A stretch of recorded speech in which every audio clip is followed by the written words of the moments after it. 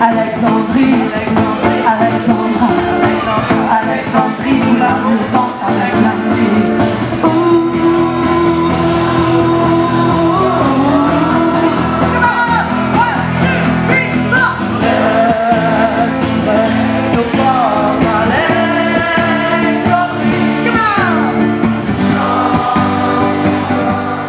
We staan hier eh, in de voortuin van het eh, woonzorgcentrum Wilgendries eh, in het pittoreske centrum van Voorde. En hier wordt op eh, zaterdag 9 september en zondag 10 september het eerste Oldschool Festival van het land georganiseerd. Dit moet een treffen worden van verschillende werelden, jong, oud, artiesten, met eh, als één centraal thema humor maar waarbij de oudsten als VIP zullen behandeld worden. De affiche die eh, vermeldt bewust geen bekende namen. Kun jij eens uitleggen waarom? Dat klopt en dat is echt eh, met hen zo afgesproken, omdat wij een statement willen maken vandaag en willen laten zien dat de echte VIP's, de echte vedetten, vandaag zijn de bewoners. We noemen ze de oldies.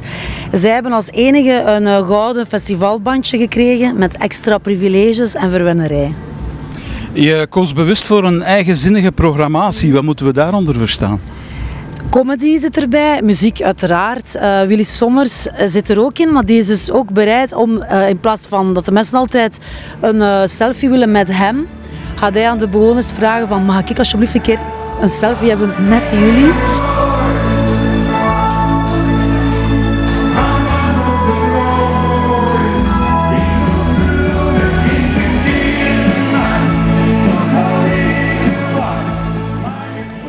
Maar daarnaast is er ehm, burlesque, een beetje pikant, dat is morgen. Ehm, beatbox-initiatie. En je zou zeggen, ja, wa- waarom doe je dat? Maar al die acts of al die genres zijn eigenlijk een heel jaar door in verschillende woonzorgcentra getry-out. En het is eigenlijk op basis van de feedback van de bewoners dat wij die in een eigenzinnige mix gemaakt hebben. Je kan er hier niet naast kijken, een gigantische tent in jullie voortuin.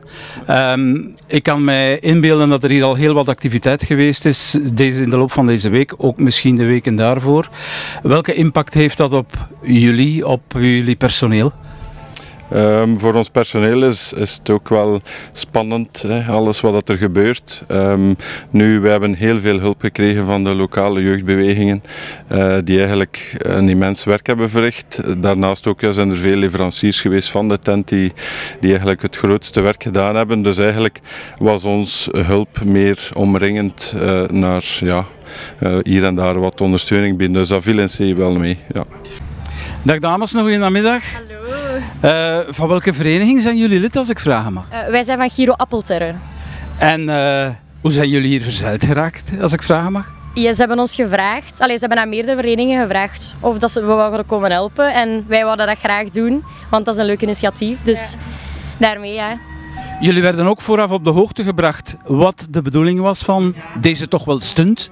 Ja, ja, inderdaad. Eh, er is van in het begin altijd duidelijk gecommuniceerd over wat dat het doel van het festival is. En wat was uw eerste reactie toen je vernam van wij worden hier uitgenodigd om mee te werken? Goh, eh, het is iets totaal nieuw, dus ik vond dat eigenlijk wel speciaal. Maar uiteindelijk, je ziet, het is goed meegevallen. En ik, of we merken dat er hier tenten staan. Is dat een decor of worden die, zijn die echt functioneel? Ah, wel, het is allebei eigenlijk een beetje. De tentjes geven zo wat de, de festivalsfeer allee, erbij en zo. Maar wij gaan daar ook vannacht in slapen. Het zijn van de scouts en de Giro en de KSA die daar dan in slapen. Een hittegolf in september. Ik veronderstel dat jullie ook even moeten bijschakelen hebben om het de bewoners zo comfortabel, zo comfortabel mogelijk te maken. Ja, inderdaad. Deze week is het hitteplan in, eh, van eh, kracht gegaan. Dus hebben wij inderdaad ja, de, de, gekeken wat moet er gebeuren, want in die tent kan dat inderdaad warm worden. Dus er is een volledige airco-installatie geïnstalleerd eh, om het aangenaam te houden. Er wordt extra rondgegaan met water, ijsjes. Ehm, de bewoners krijgen ook sproeiertjes, uh, waaiertjes, alles op en aan. Dus er wordt voor verkoeling gezorgd. Vind je dat een tof idee dat ze dat organiseren? Ja, zeker en vast. Dat, dat doet heel goed voor dokers. Hè. Hij is ook iemand die houdt van muziek, ja? Ja, ja, vroeger meer dan nu. Hè. En je vroeger ook naar optredens geweest? Nee, zoveel niet, maar toch, wanneer dat ik jong was, veel. En welke muziek hoorde jij vooral graag? Oh, de liedjeszangers, hè. Zoals hier Willy Somers, Wiltura zeker. De Willy blijft eeuwig jong, hè? Ja, die blijft eeuwig jong. 70 jaar en nog zo actief. Formidabel. Allee, geniet ervan. Ja, we gaan proberen van er verder van te genieten. Dank u wel. Veel luider.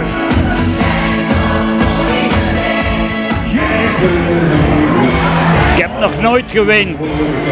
Maar dat eerste lieken, Zijn eerste lieken heeft, uh, heeft dat getoucheerd. er toe voor mijn vrouw. Allee, geniet ervan.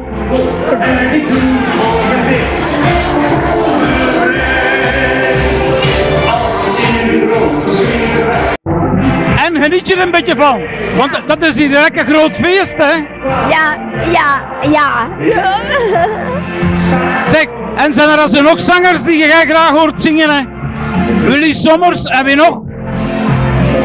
Ik moet er nou op komen, nee. Ik, eh, ik kon er veel op noemen. Hoort, hoort er veel graag. Hoeveel? Zeg, mag ik een keer vragen, hoe, hoe, hoeveel jaar zei hij? Ik, Ik mag, hij mocht dat, ik mag dat normaal aan een vrouw niet vragen, maar ik vraag dat nu toch een keer. Hoeveel? 97. Proficiat. Ja, 97 toegekend. Zeg Willy, wij zagen u ook in Roosdaal een aantal maanden geleden. Je hebt toen opgetreden voor mensen met een mentale beperking. Dat was toen een schot in de roos. Nu, dit ook een speciale doelgroep toch? Ik denk zo niet evident. Nee. Wat is uw ervaring? Maar ik, ik zie dat de mensen genieten. Hè. Ik sta op dat podium en ik, eh, ik zing mijn meest bekende liedjes uiteraard, die, men- die herkenbaar zijn voor het publiek. En ik zie dat iedereen met een glimlach op zijn gezicht staat en eh, de liedjes meezingt, zoveel mogelijk. Dus voor mij is het eh, een fijne ervaring. Dat geeft u ook energie meteen. Absoluut, ja. ja. Nog één vraagje. De organi- organisatoren die willen verschillende werelden naar het woonzorgcentrum brengen. Hè? Jong, oudere mensen, Ja. maar ook cultuur, ook artiesten. Ja? Niet evident ook, maar organisatorisch, dat brengt toch wel het een en het ander met zich mee. Hoe staan jullie als artiesten daar tegenover? Om dus richting de woonzorgcentra te trekken. Wel, ik vind het een, een leuk initiatief, eh, sowieso. Het is de eerste keer dat ik zoiets doe. Eh, en eh, de organisatie, dat zijn vooral jonge mensen, zie ik. Hè, die allemaal mooi gekleed zijn, allemaal hetzelfde pakje aan. Zowel de meisjes als de jongens. En dat in combinatie met de, met de ouderen, met de senioren. Ik vind het een zeer mooi, eh, zeer mooi initiatief. En eh, ik, ik denk dat er nog vaak zal gedaan worden in Vlaanderen. Dit smaakt naar meer. Absoluut, ja, ja. Dit is natuurlijk een zeer indrukwekkend eh, gebeuren, hè? alleen al de tent. Eh, ik, als ik het goed begrijp, willen jullie dit toch wel meer opentrekken naar andere woonzorgcentra. Maar die hebben natuurlijk niet zo'n grote voortuin, bij wijze van spreken. Hoe, hoe kun je dat dan vertalen naar woonzorgcentra die heel anders gehuisvest zijn?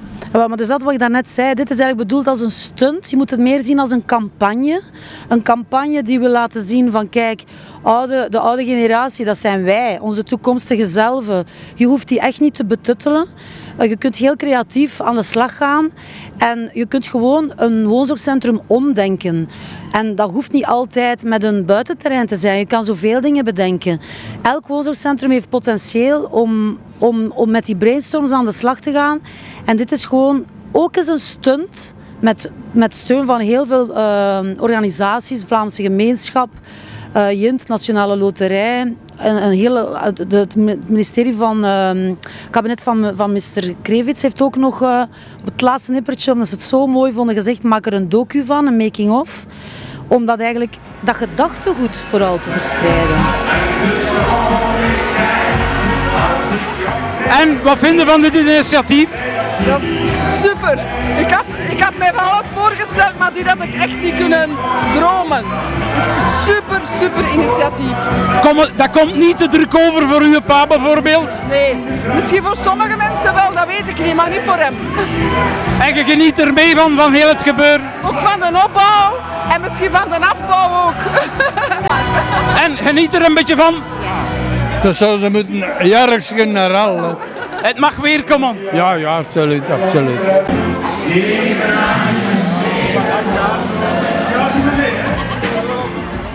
Stel, Jullie worden 90 jaar jong.